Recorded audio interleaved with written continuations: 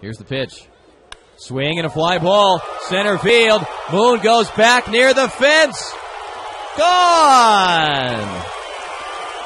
And this game's wide open now. 12 3.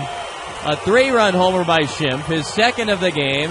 His third in two games.